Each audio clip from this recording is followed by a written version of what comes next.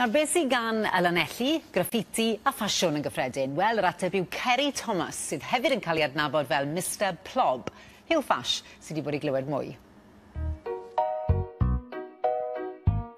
i ni gyd yn gwybod bod ffasiwn a celf yn rhywbeth sydd yn mynd law yn llaw. Ond heno, rwy'n cwrdd â rwy'n sydd yn arlunydd, yn gynllunydd, a hefyd yn fodel. Mae Kerry Thomas yn enedigol o Lanelli ac yn fwy sydd wrth i fodd yn cynllunio, creu a peintio.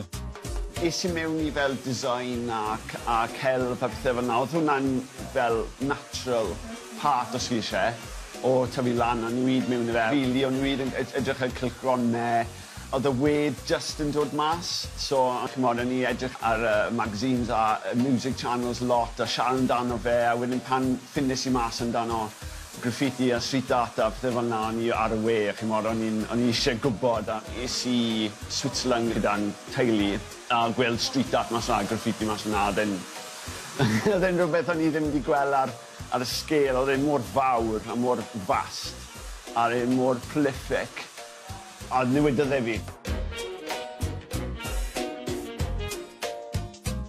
Peth nes gyntaf nes i, nes i peintes i clwb o'r enw Monkey, peintes i cheeseburger, achos ar amser nhw'n gwerthu cheeseburgers. So peintes i cheeseburger, oedd e hwnna, gyfynedd fi, co, fi'n agor salon newydd, licio ti dod draw. Pan nes i draw, oedd e'n building site, oedd e, yn, yn shell. So nes i ma, right, o'n i'n neud fel characters, so i'n meddwl, right, o'n goffwn ni rhywbeth relevant, mae'n salon, mae'n mynd i fod yn edgy, mae'n mynd i cael llawr pren a deco edgy, so ni eisiau, right, fi eisiau rhywbeth sy'n represento fi a Jamie.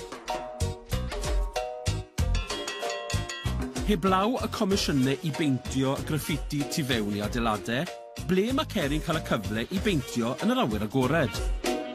Mae cyngor Sir Abertawe wedi rhoi hwn i ni a Walyn. Mae'n gret achos ni'n gallu lawr dim ffas a peinto. A bod yn credigol, mae eisiau amser am waith i wneud rhywbeth sy'n cymryd amser. A mae'r rhaid, ni'n gwneud pethau gloi, ond pan fi'n eisiau neud cymryd amser i wneud e, a fi eisiau bod lawr yma am 8 awr ar sy'n dadlu sadwn, na beth fi'n neud.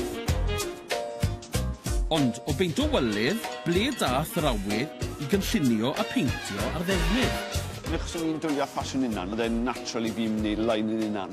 Mae'n mynd dwylo i dwylo, mae'r beth fi'n neud ar ar y, ar y wal, fi'n neud ar jacket, a beth fi'n neud ar jacket fi'n neud ar y wal, a fi'n sketcho a pethau. Wrth gwrs, Ceri, erbyn hyn, mae ffasiwn wedi arwen i modeli. Wrth gwrs, mae e wedi arwen i modeli i lan yn Birmingham yn siow enw Ruth Runway, pan ni'n dangos yn ddillad i, fel fi'n dangos fan hyn. So, ie, yeah, oedd hwnna, fi'n fi gweld hwnna fod yn fel, fel fath o celf yn, yn unan i gwir gwir. So beth nesa, Ceri? Beth nesa i um, wneud uh, paintings fwy. Fi eisiau gwneud walydd fwy. Fi eisiau gwneud mwy o graphics, mwy o ddillad, mwy o fel diverse range o dillad. Just wneud y brand, wneud y fwy, mwy fel brand, achos un o'n fi artistiau fi, Mr Plob. So mae hwnna'n sefyll am Paint Lives on Brick.